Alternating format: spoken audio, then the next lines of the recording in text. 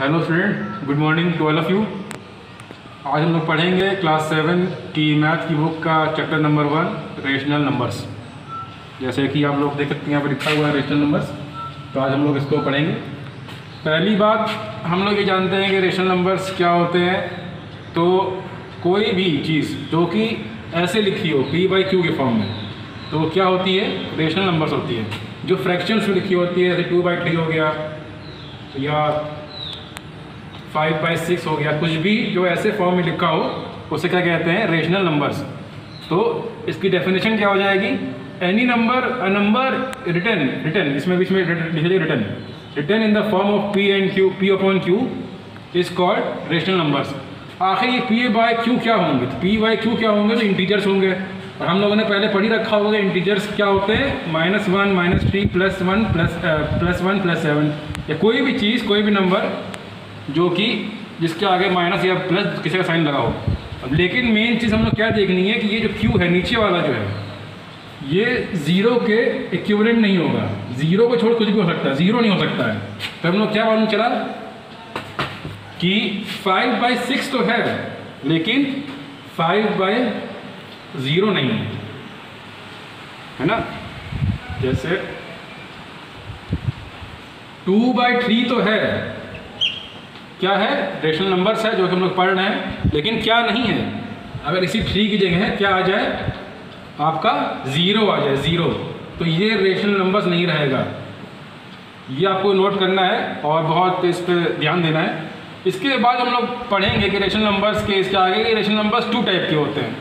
एक होता है पॉजिटिव रेशनल नंबर्स ये आर एन से क्या हो गया? आपने ऊपर पढ़ी रखा है रेशनल नंबर्स पॉजिटिव का साइन पॉजिटिव रेशनल नंबर्स और दूसरा क्या होता है? नेगेटिव तो पहले हम लोग कौन सा पढ़ेंगे? पॉजिटिव पॉजिटिव में क्या होता है?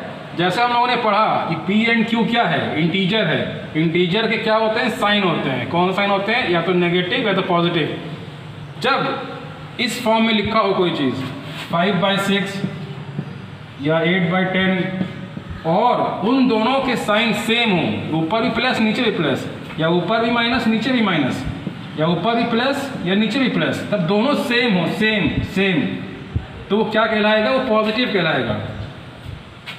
है ना? जब दोनों साइन ऊपर वाला और नीचे वाला सेम हो डिनोमिनेटर और न्यूमरेटर तब क्या होता है? वो पॉजिटिव कहलाता है। इसी का जस्ट अपोजिट सेम का अपोजिट क्या होता है? अगर कोई चीज़ सेम है, उसका अपोजिट क्या होगा? डिफरेंट या तो चीज़, या तो चीज़ सेम हो गया डिफरेंट होगी। अगर डिफरेंट हो गया तो वो क्या कहलाएगा? नेगेटिव जैसे कि हम लोग देख सकते हैं टू बाई थ्री जो है, अगर इसमें एक ही साइन माइनस है, दोनों ऊपर नीचे माइनस नहीं है तो क्या हो गया? नेगेटिव हो गया। जो यही अगर टू अपॉन थ्री ऐसे लिखा होता तो ये क्या होता? पॉजिटिव हो जाता। जैसे ये माइनस फाइव, माइनस सिक्स है, लेकिन इसमें क्या एक ही साइन जो है, एक ही जो है वो नेगेटिव में है, दोनों नहीं है। अगर दोनों होते तो ये क्या हो जाता?